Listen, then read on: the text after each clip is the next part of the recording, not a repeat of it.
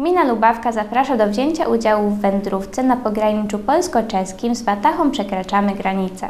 Impreza odbędzie się w najbliższą sobotę. Organizatorem wydarzenia jest Gmina Lubawka. Impreza jest 14 stycznia 2023 roku w sobotę. E, Zaczynamy o godzinie 4 rano i o 4 rano e, ruszą sobie na wędrówkę osoby, które e, zadeklarowały się wędrować na dystansie 60, ponad 60 km. Natomiast o godzinie 10 ruszą wędrowcy na dystansie 20-24 km.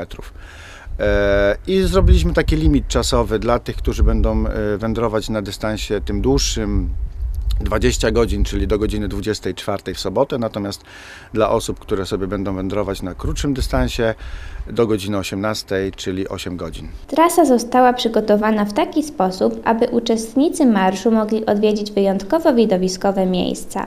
Startujemy tutaj, w tym miejscu, gdzie jesteśmy teraz, czyli na stadionie e, w Lubawce. E, Ruszamy szlakiem e, w kierunku Kruczej Skały i właściwie cały czas idziemy po szlakach turystycznych.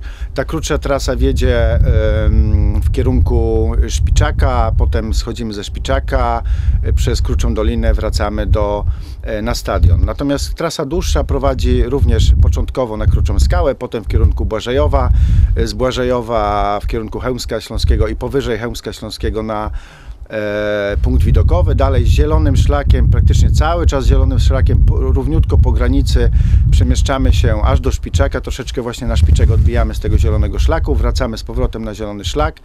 Zielonym szlakiem granicznym dalej podążamy e, w kierunku e, przejścia granicznego w Lubawce.